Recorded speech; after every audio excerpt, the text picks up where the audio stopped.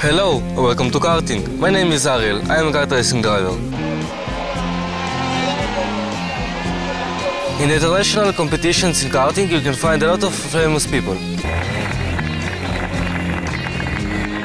Today we will speak to Mike Wilson. We have asked him a few questions about karting many years ago and karting nowadays. Mike Wilson, the king of kart, an Englishman living in Italy, the most winning man in karting history, six-time world champion between 1981 and 1989. I think basically what's changed from now to uh, when you were talking where we had air-cooled engines, now the water-cooled engine is uh, the performance is much better because th- the temperature of the engine is very consistent, and uh, the engines have a, a little bit longer life than before, due to the fact that you can keep the the temperature very, uh, like I said, consistency, and uh, yeah, I think from now to the years we, we were talking about, it's been a big step forward. Mike Wilson came to Italy at the age of 18. He won everything in karting. But when, during the Formula 3 tests, he was ahead of the closest contender for a place in the team by 1.2 seconds, the team chose not Mike, but another guy who had 200 million lira for the racing season. Unfortunately, uh, karting has become uh, a very expensive sport.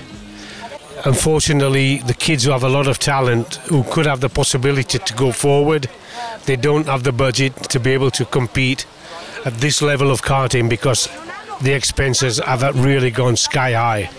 And it, it's, it's a bad situation because, you know, kids who could, who could make a, a, good career, unfortunately, because they don't have the money, there's only certain there's only to a certain point that they can race, which is a, a fairly low level now, because at this level, believe me, you, you need to have a good sponsor or you need to have a good budget yourself. After finishing his karting career in 1991, Wilson founded his own Rakama team using his own chassis. Fernando Alonso achieved his kart victories in Mike Wilson's team.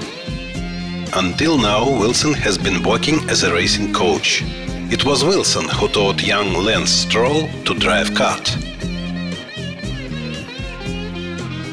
Well, when I was racing, uh, yeah, okay, uh, I, th- I think the sport was much less expensive. Uh, give the possibility to younger drivers who were coming up, who had talent, not to have uh, a, a, a big budget and be able to put themselves in the limelight and maybe find a, a, one of the official teams who would pick them up. Unfortunately, this doesn't happen today because to be here in the beginning, for at least for the first couple of years, you have you have to have the budget yourself, and this for me is a big problem at the moment. The priceless award Mike Wilson received through Ayrton's Senna's words. Once Ayrton said, There's just one driver I never managed to beat Mike Wilson.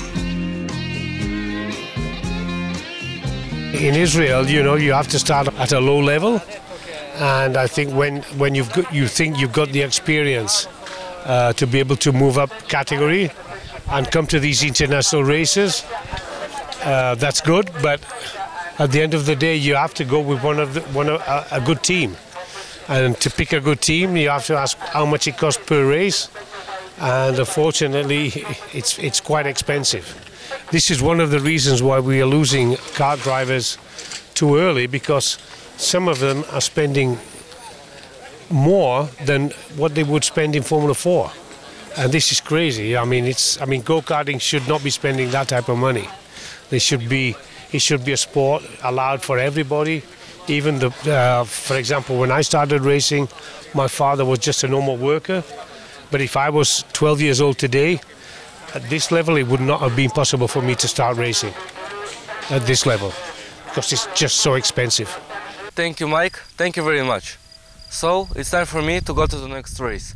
Thank you for watching. Feel free to ask questions. I will answer all of them. Ciao. Thanks to my sponsors.